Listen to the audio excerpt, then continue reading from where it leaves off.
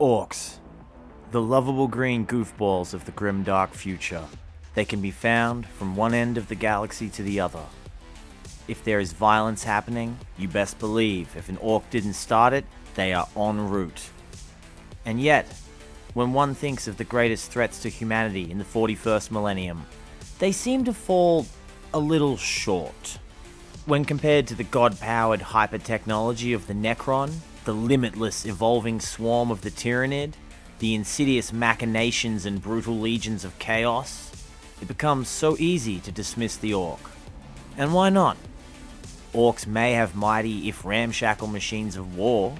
They might have the numbers, the durability, even the cunning and inventiveness to stand shoulder to shoulder with the other mighty threats of the galaxy.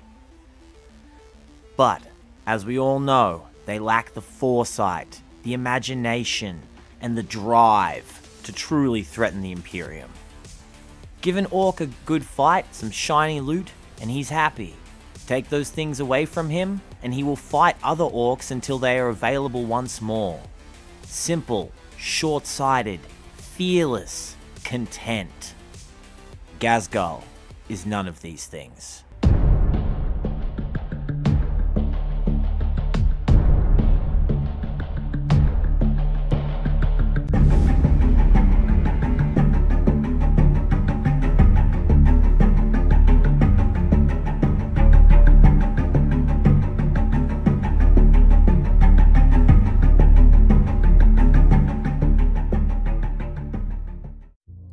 The sons of the lion to make ammunition so poor it turns foot soldiers into conquerors.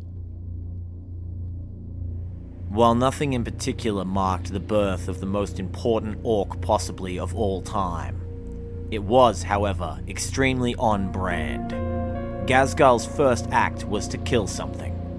His questing arm desperately trying to find some sort of purchase to pull his adult human sized newborn body out of the hole in the ground which had gestated the spore he grew from. Perhaps had a wild squig not come to investigate what it hoped was a free meal, billions of lives would have been spared.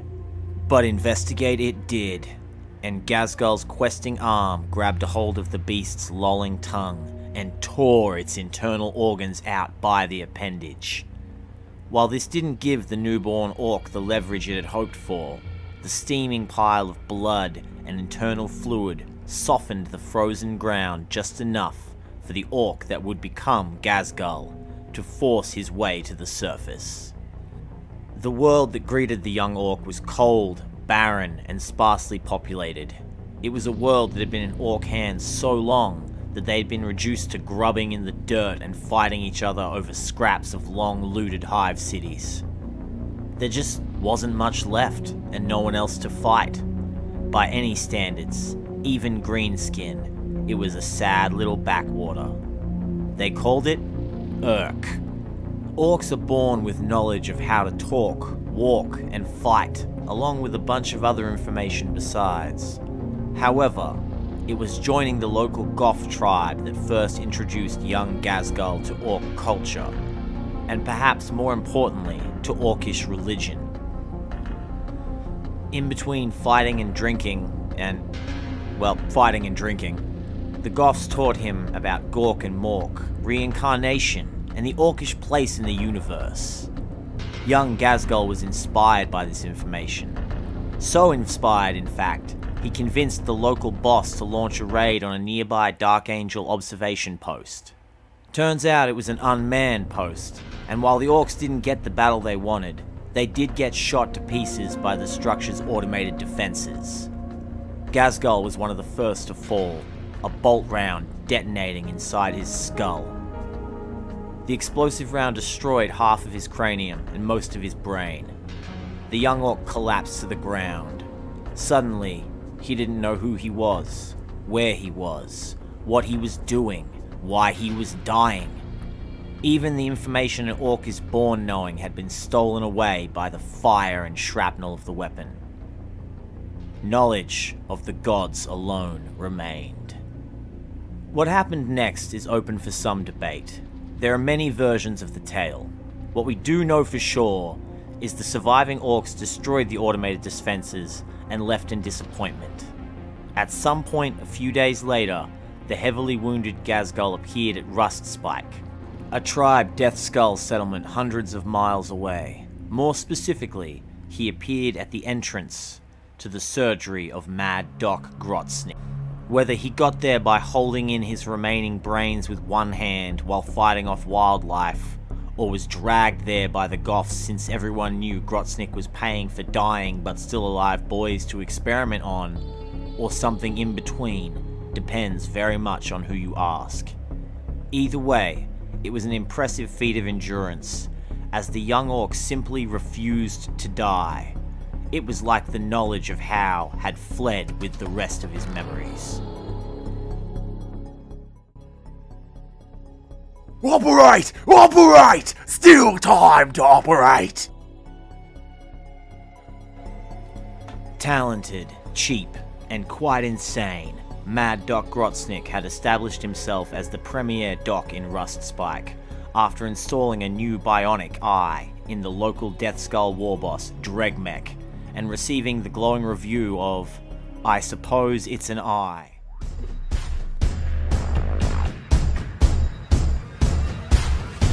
Always excited to have a still alive test subject to work on, Grotsnik did or didn't pay the Goffs and got right to work.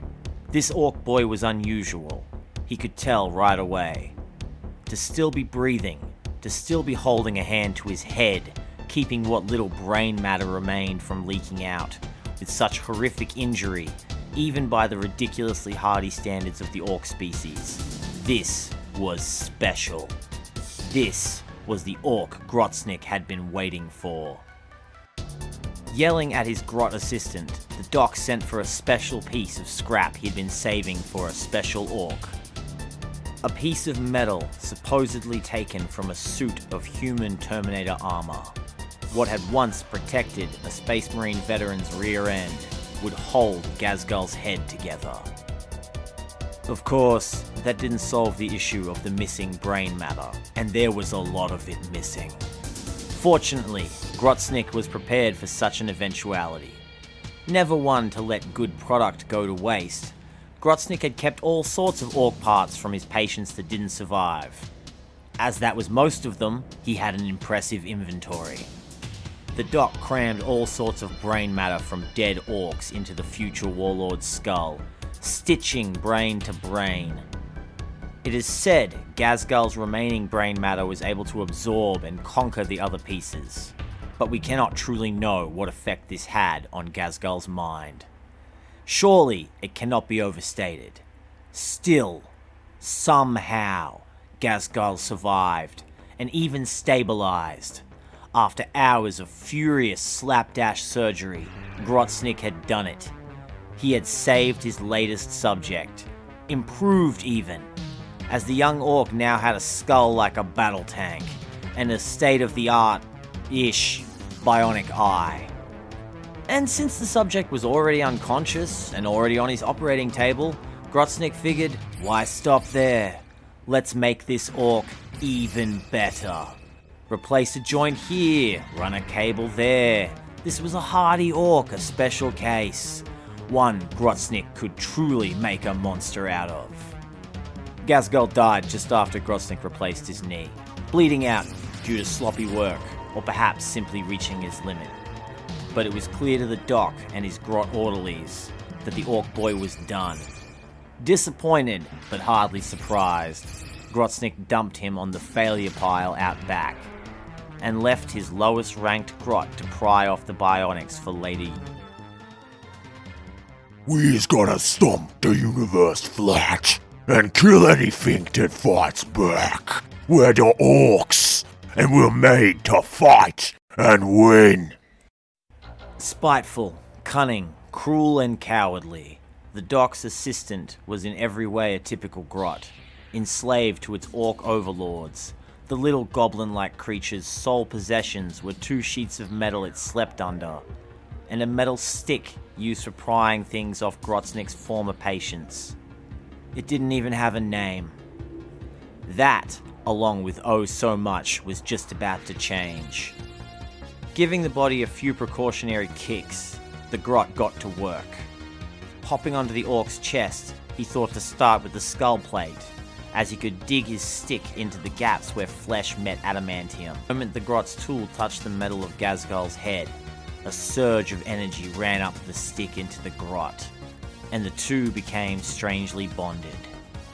As though this single touch had started a chemical reaction, the orc began to move, grunting and spasming, its green limbs flailing about, followed by muscle locks so fierce the grot thought the orc was going to snap in half.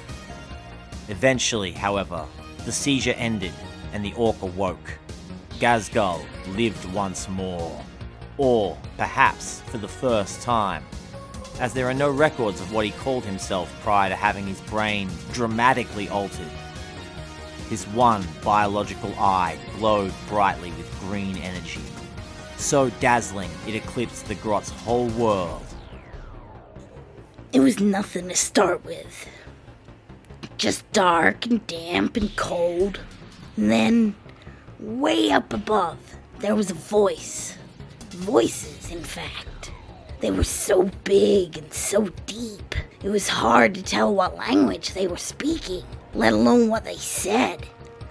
But it must have been Gork and Mork. And they were fighting, which is fine, because that's what they like doing best.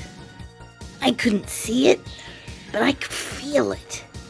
Massive rumbling impacts that made the dark thunder that would have knocked me off my feet if I hadn't had any kind of presence.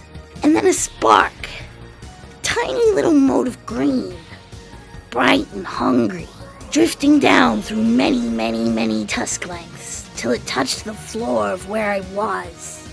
The green spread out from the tiny point, rippling in big, bright circles, and pooling in spots that spread circles of their own. It spread faster and faster until everything was covered in it, as far as I could see. Now it was lit up.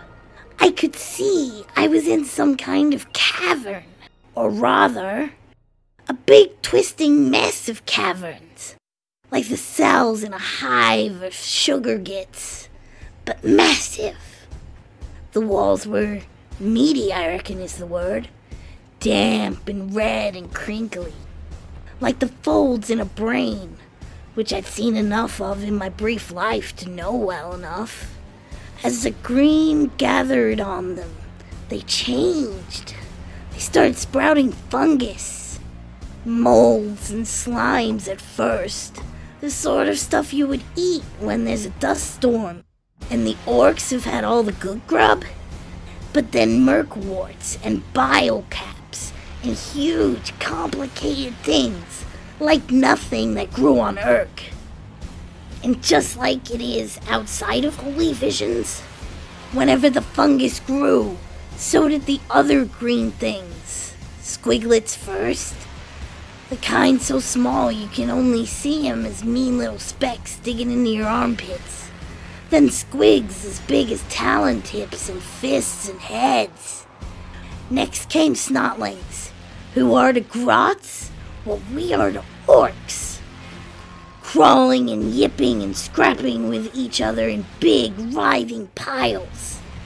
Everywhere there were snotlings eating squigs, and squigs eating snotlings, and with every jaw snap, gnash, and gnaw, the green grew brighter and more alive. Then there were grots, swarms of grots, and they got straight to work lashing together meager little tools from squig sinew and capwood, and bullying the snots into working too, faster than I could keep up with. They beat the fungal jungle back and started building farms and drops and brew huts and barracks. They were just in time for the first orcs, who were crawling their way out of their grow holes now and were hungry already. The orcs kept coming, and they kept getting bigger until even the runts among them were as big as the war bosses on Urk. And above it all, way up, on what might have been the cavern roof or might have been infinity, the stars were coming out. More stars than every mech on Urk could have counted in a lifetime. And every one of them, bright, angry, beautiful green. I was so distracted by the stars, I didn't even see the squiggoth. It was a brilliant thing, a horrible thing. As big as a battle wagon it was, and it made the skinny, sad-throated beast raised by Urk snakebite herders look pathetic. It nearly smashed me to mush with its foot. But I didn't live to three years old by not being able to roll out of the way of a stomp Mork snickered fast. And once I was on my feet, I followed the beast.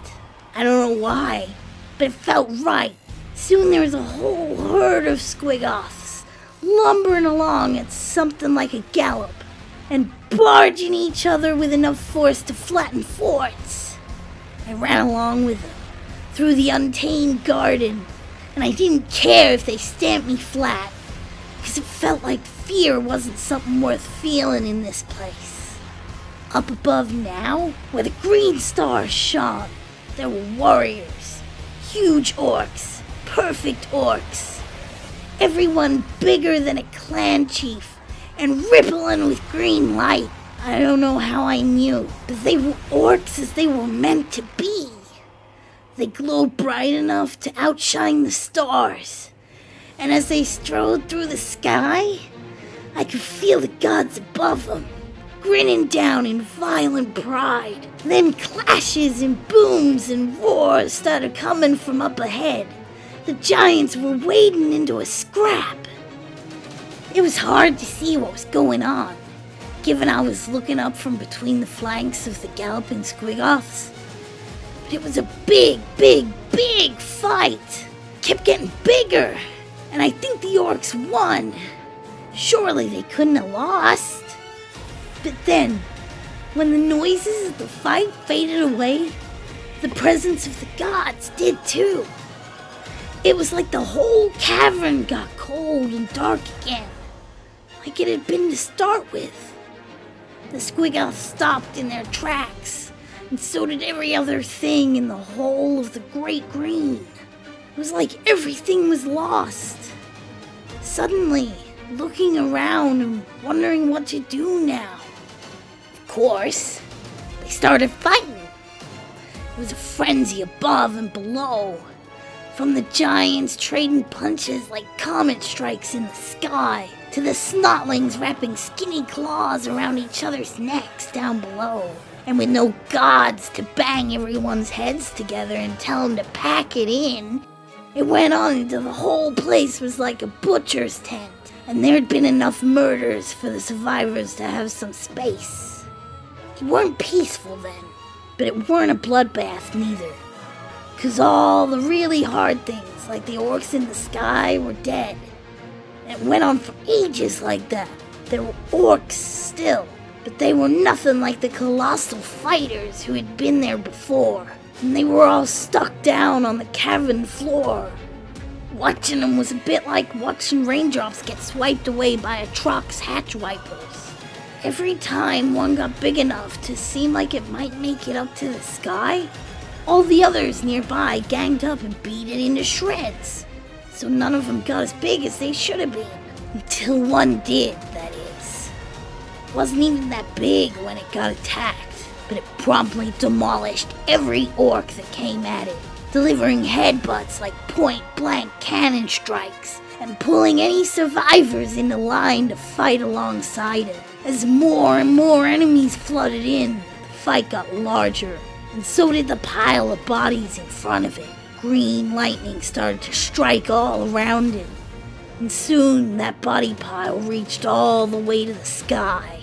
Seeing this, the new giant began climbing the mountain of the dead towards the stars. With every step, the winter grew more bulky, more vigorous, and soon the cavern started glowing bright again. The stars swelled.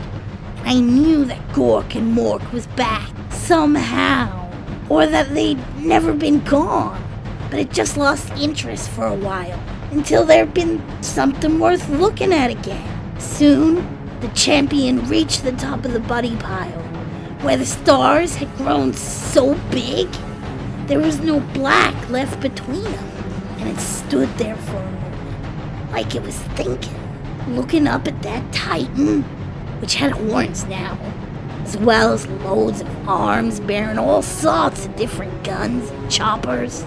I was terrified, but I also knew what joy was for the first time. And then the Titan looked back down at me. There were spaceships flitting across the green sea of its one good eye, looking like tiny bingits.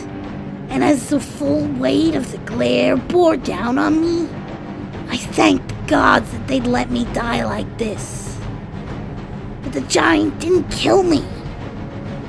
It curled a finger big enough to flick a moon into a planet, and it beckoned me, and it turned and stepped into glorious infinite green, leaving only flames in its boot prints.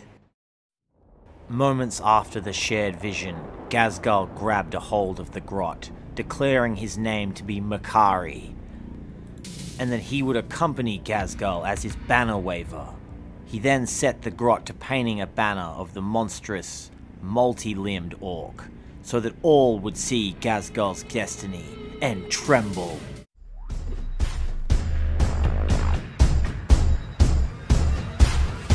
Ghazghkull knew what he had to do. The gods had tasked him with unifying the orc species into a great unstoppable war. And he was gonna start with this planet right here, Urk. It is impossible to overestimate this enemy.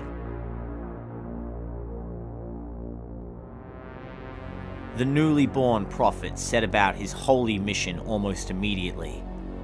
Approaching Dregmek, the Death Skull warlord who ruled Rustspike, Ghazghkull launched into a tirade insulting Dregmek, calling the larger, heavily armored orc a disgrace who had forgotten the will of the gods and spent his days scrabbling for human scraps and pointlessly fighting other orcs but conquering nothing. With his bodyguard of orc nobs watching on, the war boss could hardly put up with these insults. So he opened fire with his multi barreled custom big shooter. The rapid fire weapon shredding just about everything around Ghazghkull. But whether due to shoddy orc weaponry, the will of the gods, the sheer will of Ghazghkull himself, or just the crappy job Grotsnik had done replacing Dregmek's eye, not one round found its target. Once the weapon clicked dry, the Prophet systematically wore down and battered the larger orc to death in front of the other high ranked Death Skull orcs. The most prominent of which, a tall orc called Bullets, approached the young Ghazghkull who offered to fight Bullets also. The nob considered it, but felt sure he would be in for way bigger and better fights if he followed him instead. Declaring that Ghazghkull now ruled Rustspike, and any that took issue with it could answer to him.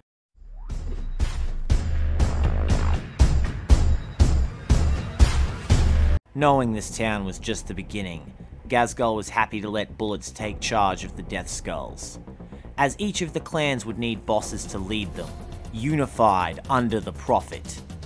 For now, it was just one, but in time he would build himself a council, a council of clan bosses. The Prophet instituted a series of new rules in Rustspike, outlawing fights between work gangs while they worked. They could still fight, of course, but not while on shift. This revolutionary concept meant Rustspike got rich at an astounding rate, drawing interest and attention from the nearby clans. This caused Ghazghkull to institute the Big Rule, another sweeping reform, allowing members of any clan to join Rustspike so long as they served Ghazghkull. It was during this time he first began to suffer from frequent migraines, but each one was followed by a burst of inspiration. The orc concluded it was the gods speaking to him. Ghazghkull knew if he was going to truly unify Urk, it would take more than just killing all the other bosses. He would need to make statements that no orc could ignore. Prove who had the favor of the gods. He would beat them at their own games. First was the Cult of Speed. Ghazghkull took a single, rusted, barely functional warbike to Evil Sun's territory to challenge their speed boss, an orc called Shazfrag, to a race. Known as the best driver on Urk and facing pitiful opposition, Shazfrag accepted. Such was the power of the Prophet's faith. His old bike kept the speed boss neck and neck the entire race, prompting the other orc to begin shooting at Ghazghkull. Several accounts of what happened next exist, but we do know a bolt was thrown from Ghazghkull's bike, either by Ghazghkull himself or his Grot Banner Waver, that somehow managed to jam Shazfrag's shooter, causing it to explode in his hand, sending the speed freak off course into a rocky outcropping of the canyon they raced in. Speeding past the fireball of Shazfrag's bike, Ghazghkull won. And what was more, the speed boss had survived and was so impressed, he declared for the Prophet on the spot, bringing the largest band of speed freaks on the planet under his command with him. The Council of Clan Bosses had its second member.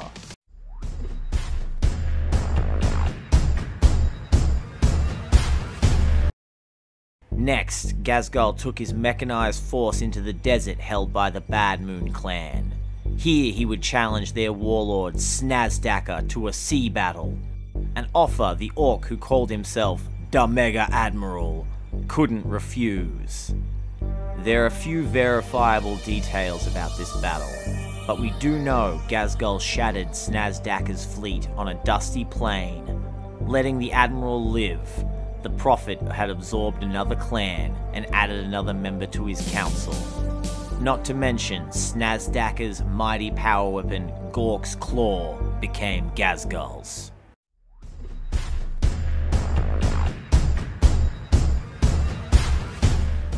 From here, Ghazghkull sought the loyalty of the Snakebite Beastmasters. So he journeyed to their monster-infested swamps to challenge the ancient and famously stubborn boss Grudbolg. Once again, letting his enemy set terms, Ghazghkull found himself in a knife fight. It didn't matter, of course. The orcs who followed the Prophet had seen him do the impossible again and again. They knew he wouldn't lose and they were right. Ghazghkull beheaded the Snakebite war boss. But never one to waste a good warlord, the Prophet held the head to its neck till the wound had healed over again, at which point Ghazghkull offered Grudbolg the chance to join. He refused. So Ghazghkull beheaded him again and repeated the process. Again, he refused.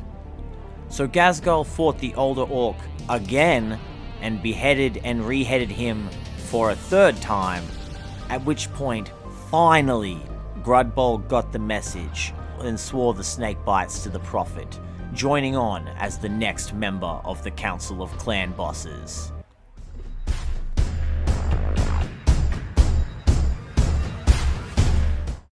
Always cunning, the Bloodaxe clan was quick to see the way the winds were blowing, and didn't wait for Ghazghkull to come to them. Their leader, the illustrious General Stratagem, snuck into Ghazghkull's rust spike fortress, getting so close he could have touched the Prophet if he wished. But it was simply to show he could. The General gladly swore loyalty to Ghazghkull.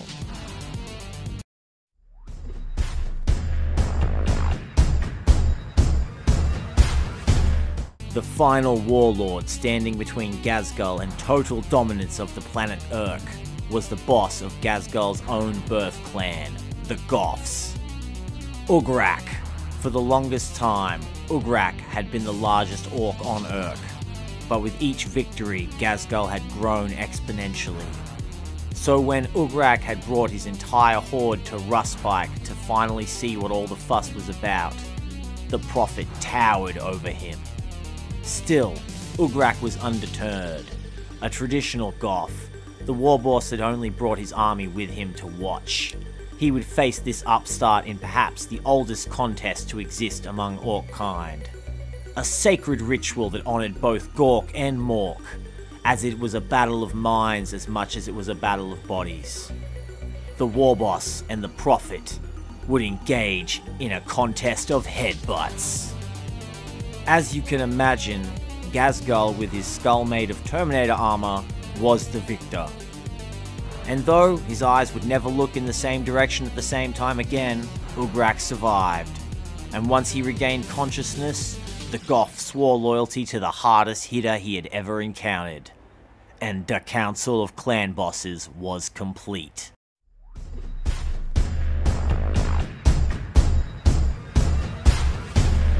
Ghazghkull had defeated his rivals and unified Urk. With the easy part done, he needed to find a way for his fledgling Waaagh to survive the local sun going supernova, and time was not on his side.